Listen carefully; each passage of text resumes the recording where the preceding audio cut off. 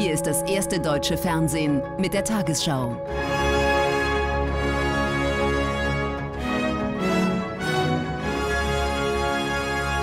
Heute im Studio Susanne Daubner. Guten Abend, meine Damen und Herren. Ich begrüße Sie zur Tagesschau. Der baden-württembergische Ministerpräsident Kretschmann hat sich gegen Forderungen aus der Türkei gewandt, bestimmte islamische Einrichtungen in Deutschland zu überprüfen. Der türkische Generalkonsul in Stuttgart hatte die Landesregierung gebeten, Vereine und Schulen neu zu bewerten, die von Anhängern des Predigers Gülen betrieben werden. Gülen wird von der Türkei verdächtigt, hinter dem Putschversuch zu stecken. Kretschmann sagte, dafür gebe es keine Be Belege. Es ist ein Aufruf zum Boykott. Diese Liste wird derzeit über Facebook und WhatsApp verbreitet. Darauf angeblich güllennahe Geschäfte und Institutionen im Raum Stuttgart. Betroffen auch der Fußballclub Stuttgart-Cannstatt. Als wir namentlich in diesen Listen aufgeführt waren, wir waren sehr, sehr schockiert. Die Eltern waren sehr ängstlich. Die sind mit diesen Facebook- und WhatsApp-Listen auf uns zugekommen. Dazu solche Drohungen. Wir werden euer Blut trinken und mit eurem Blut duschen, steht da. 15 Mitglieder haben sich bereits abgemeldet. Inzwischen hat auch das Stuttgarter Staatsministerium eine Liste bekommen, jedoch vom türkischen Generalkonsulat. Das Land soll Gülen nahe Einrichtungen überprüfen. Ministerpräsident Kretschmann lehnt das entschieden ab. Wir sind ein Rechtsstaat. Dafür gibt es Organe, die dafür sorgen, äh, dass das Recht eingehalten wird. Und es kann nicht sein, dass äh, die Türkei sich hier in äh, die inneren Angelegenheiten unseres Landes in solch einer Weise einmischt, aufgrund reiner Verdächtigungen. Die angespannte Lage macht auch der türkischen Gemeinde Sorge. Es gehe ein Riss durch die türkische Community. Sachliche Gespräche seien kaum möglich, so der Vorsitzende. Es gibt äh, sehr viele Freundschaften, die jetzt gerade auseinandergehen. Es gibt innerhalb der Familien sehr viele Streitpunkte, weil man sich entscheiden muss, für oder gegen äh, zu sein. Äh, es ist gerade eine harte Zeit in der türkischen Gemeinde. Das sieht auch die Landesregierung so und ruft die Türken und türkischstämmigen Deutschen dazu auf, friedlich zu bleiben. Der Prediger Gülen gehörte bis vor drei Jahren zu den Weggefährten des heutigen Präsidenten Erdogan. Doch inzwischen sind sie verfeindet. Seit knapp 20 Jahren steuert Gülen seine Bewegung von den USA aus. Sie strebt an, den Islam durch Bildung zu verbreiten. Fethullah Gülen, 75 Jahre alt, einflussreicher islamischer Prediger. Früher war er mit Erdogan befreundet. 2013 kommt es wegen eines Korruptionsskandals zum Bruch. Seitdem gilt Gülen als Erzfeind des türkischen Präsidenten. Er lebt im Exil in den USA auf einer Farm in Pennsylvania. Von dort aus leitet er ein weltweites Netzwerk. Seine Bewegung nennt sich selbst Hismet, was so viel bedeutet wie einen Dienst leisten. Auch in Deutschland ist die Bewegung aktiv. Nach eigenen Angaben betreibt sie hier etwa 150 Nachhilfevereine, 30 Schulen und Kindergärten sowie 15 interreligiöse Dialogvereine. Die Unterrichtssprache ist Deutsch. Gülens Hismet-Bewegung steht laut Experten für ein wertkonservatives islamisches Weltbild. Junge Leute werden zu einer frommen Lebensweise sowie schulischem und beruflichem Erfolg angehalten. In Deutschland ist die Bewegung nicht unter Beobachtung der Behörden. Im Gegenteil, ein Mehrreligionenhaus in Berlin hat gerade erst eine Millionenförderung vom Bund erhalten. Kritiker hierzulande werfen der Bewegung vor, nicht transparent genug zu sein. Zudem werde in den Bildungseinrichtungen so wörtlich islamische Gehirnwäsche betrieben, die Bewegung weist dies zurück. Auch die Unterstützer von Präsident Erdogan mobilisieren Anhänger in Deutschland. Sie riefen für Sonntag zu einer Demonstration am Kölner Rheinufer auf, zu der 30.000 Teilnehmer erwartet werden. Auch vier Gegenkundgebungen wurden angemeldet, eine von der rechtspopulistischen Partei Pro NRW. Die Polizei verhängte wegen Sicherheitsbedenken Auflagen, die aber zum Teil vom Verwaltungsgericht wieder aufgehoben wurden. In Köln wird ein unruhiger Sonntag erwartet. Hier auf der Deutzer Werft sollen bis zu 30.000 Erdogan-Anhänger zusammenkommen. Nach dem gescheiterten Putsch gab es bisher nur kleine Demonstrationen. Jetzt haben AKP-nahe Verbände zur Großdemo aufgerufen. Die genaue Rednerliste steht noch nicht fest, aber die Polizei rechnet damit, dass Regierungsvertreter aus der Türkei wie der Sportminister hierhin anreisen und auch sprechen werden. Das verschärfe die Sicherheitslage immens. In diesen Fällen ist immer eine eigene Gefährdungsbeurteilung vorzunehmen. Sollte ein hochgefährdeter Politiker darunter sein, äh, sehe ich mich im Augenblick nicht in der Lage, die Sicherheit zu gewährleisten. Dann käme ein Verbot der Versammlung in Betracht. Allerdings die gesetzlichen Hürden dafür sind hoch.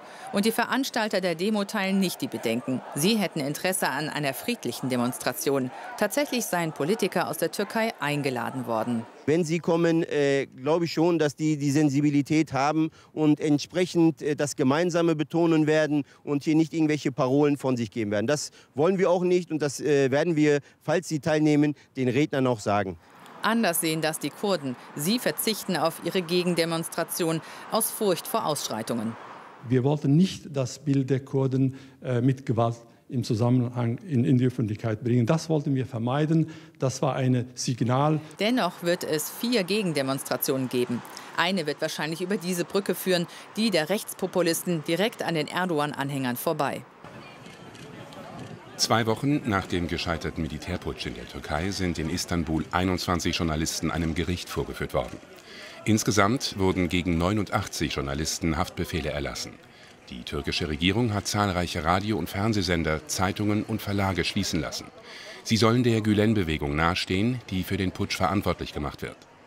In der Türkei wurden nach Angaben des Innenministers mehr als 18.000 Verdächtige festgenommen, 3.500 seien aber wieder frei. Um eine Flucht ins Ausland zu verhindern, wurden fast 50.000 Reisepässe für ungültig erklärt. Über die Versorgung von 250.000 Menschen, die in der syrischen Großstadt Aleppo eingeschlossen sind, ist ein Streit entbrannt. Die Vereinten Nationen forderten Russland auf, die Aufsicht über Hilfskorridore den UN zu überlassen. Russische und syrische Truppen, die Aleppo belagern, planen hingegen, die Korridore selbst zu organisieren. Das russische Staatsfernsehen veröffentlichte heute Bilder, die zeigen sollen, wie russische Hilfsgüter in der Stadt verteilt werden. Westlich von Aleppo in der Provinz Idlib ist nach Angaben der Kinderhilfsorganisation Save the Children eine Geburtsklinik durch einen Bombenangriff schwer beschädigt worden. Informationen über Opfer lägen noch nicht vor, sagte ein Sprecher der Organisation.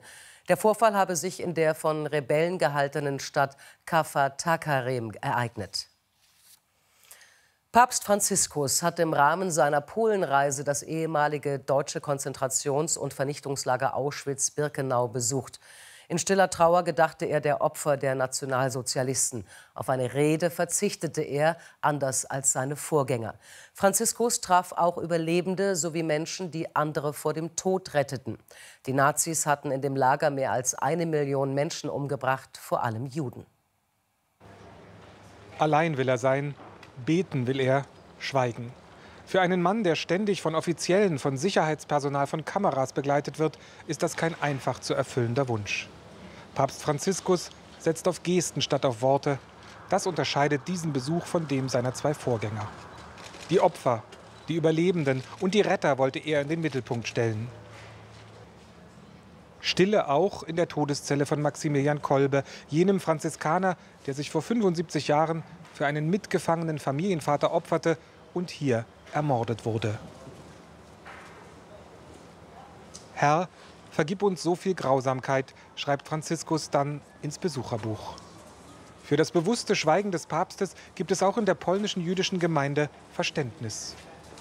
So viele Menschen reden, wenn sie hier in Auschwitz und Birkenau sind, aber sie schweigen, wenn sie den Ort verlassen. Für mich aber bedeutet das, hier schweigt man, aber wenn man das Todestor von Birkenau verlassen hat, darf man nie wieder schweigen. Man muss immer aussprechen, was in der Welt falsch läuft. Always speaking out about what is wrong in the world. Ein Totengebet auf Hebräisch und Polnisch ist das einzige, was laut über Birkenau schallt. Erst danach, ganz ohne Kameras und Mikrofone, trifft sich Franziskus mit polnischen Bürgern, die Juden vor den deutschen Besatzern schützten und deren Leben retteten. Hillary Clinton zieht für die Demokraten ins Rennen um die US-Präsidentschaft als erste Frau überhaupt. Die frühere Außenministerin nahm ihre Nominierung vergangene Nacht auf dem Parteitag in Philadelphia offiziell an, umjubelt von tausenden Anhängern.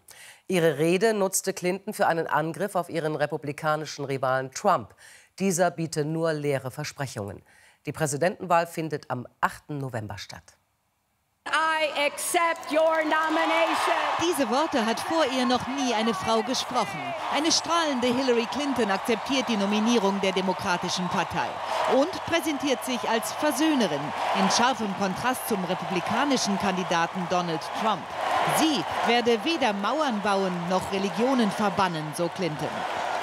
Man stelle sich ihn im Weißen Haus vor, bei einer echten Krise. Einem Mann, der sich von einem Tweet provozieren lässt, sollten wir keine Atomwaffen anvertrauen. Dann marschieren Dutzende Generäle auf. Das Militär vertraue Clinton, nicht Trump, ist die Botschaft. Ein Signal auch ans andere politische Lager. Clinton hofft auf die Stimmen jener Republikaner, denen Trump nicht geheuer ist. Auch nach links baute sie Brücken, versicherte ihrem innerparteilichen Rivalen Bernie Sanders, seine Anliegen seien auch ihre. Und überhörte vereinzelte Buhrufe seiner Fans. Ich werde eine Präsidentin für alle sein, nicht nur für die, die mich gewählt haben, für alle Amerikaner gemeinsam. Umfragen sagen derzeit ein enges Rennen zwischen Clinton und Trump voraus. Sie hat sich vorgenommen, als erste Frau ins Weiße Haus einzuziehen. Doch die größere Herausforderung für Hillary Clinton scheint derzeit eine andere zu sein. Sie muss den düsteren Szenarien und den einfachen Antworten eines Populisten Zuversicht entgegenstellen. Das Amtsgericht Köln hat vier russische Hooligans zu Haftstrafen auf Bewährung verurteilt, wegen gefährlicher Körperverletzung. Die geständigen Täter hatten während der Fußball-EM in der Nähe des Kölner Doms spanische Touristen angegriffen und durch Schläge und Tritte verletzt, als diese einen antifaschistischen Aufkleber anbrachten. Drei der Angeklagten erhielten zehn Monate, ein vierter ein Jahr auf Bewährung. Bastian Schweinsteiger hat seine Laufbahn in der deutschen Fußballnationalmannschaft beendet. Der Kapitän der DFB-Auswahl erklärte, mit dem Gewinn der Weltmeisterschaft 2014 sei etwas gelungen, das sich in seiner Karriere nicht wiederholen lasse. Deshalb sei es vernünftig, nun Schluss zu machen und der Mannschaft für die WM 2018 das Allerbeste zu wünschen. Schweinsteiger kommt auf 120 Einsätze im Nationalteam. Ein großer hört auf. Bastian Schweinsteiger wird nicht mehr für Deutschland spielen. Es sei der richtige und vernünftige Zeitpunkt, so Schweinsteiger. Er bedankte sich beim DFB, beim Bundestrainer und bei den Fans für eine tolle Zeit. Höhepunkt war natürlich der Weltmeistertitel 2014 in Brasilien. Er war, hat die Nationalmannschaft geprägt, den deutschen Fußball auch geprägt. Und äh, ich glaube, er hat immer mit sehr viel Freude, mit sehr viel Spaß auch bei uns gespielt und äh, deswegen verlieren wir einen sehr, sehr großen Spieler. Und äh, ja, ich wünsche ihm alles Gute. Das Jahr 2016 ist für Schweinsteiger das der großen Veränderungen. Vor zwei Wochen die Hochzeit mit Tennisstar Anna Ivanovic in Venedig. Seine Zukunft bei Manchester United ist ungewiss. Der neue Trainer José Mourinho möchte den verletzungsanfälligen 31-jährigen Schweinsteiger aussortieren. Der krönende Abschluss als Fußball-Europameister abzutreten, ist ihm nicht vergönnt gewesen. Beim Halbfinalaus gegen Frankreich verursacht er diesen Handelfmeter. Die ersten Reaktionen seiner Kollegen auf den Rücktritt, Thomas Müller, danke für viele großartige gemeinsame Stunden und auch Benedikt Hövedes war es eine Ehre, mit Schweinsteiger auf dem Rasen zu stehen. Der Kapitän geht von Bord nach 120 Länderspielen, 24 Toren. Das ist sein letztes bei der EM gegen die Ukraine. Nicht nur Bundestrainer Joachim Löw wird ihn vermissen. Und nun die Wettervorhersage für morgen, Samstag, den 30. Juli. Weite Teile Deutschlands befinden sich unter Tiefdruckeinfluss. Am Rande des Tiefs wird morgen in den Süden sehr warme Luft gelenkt. In der Nacht sind noch ein paar Schauer oder Gewitter unterwegs, die im Verlauf seltener werden. Im Süden klart es gebietsweise auf. Hier scheint morgen häufig die Sonne, sonst gibt es teils Sonne, teils dichte Wolken und vor allem im Norden Schauer, im Süden am Nachmittag vereinzelt Gewitter. Heute Nacht am Oberrhein noch 18, an den Alpen 12 Grad. Morgen Höchstwerte von 19 Grad an der Nordsee bis 31 Grad ganz im Südwesten. Der Sonntag wird durchwachsen mit Sonne, Wolken, Schauern und Gewittern, die im Südosten heftig ausfallen können. Am Montag im Norden Schauer, in Alpennähe auch Gewitter, sonst aber überwiegend freundlich. Am Dienstag insgesamt wieder wechselhafter. Um 21.45 Uhr melden wir uns mit diesen Tagesthemen. Reicht Erdogans langer Arm bis nach Deutschland? Fragen von Karen Mioska an Winfried Kretschmann. Und endlich Kandidatin, wie Clinton die Amerikaner für sich einnehmen will. Ich wünsche Ihnen noch einen schönen Abend.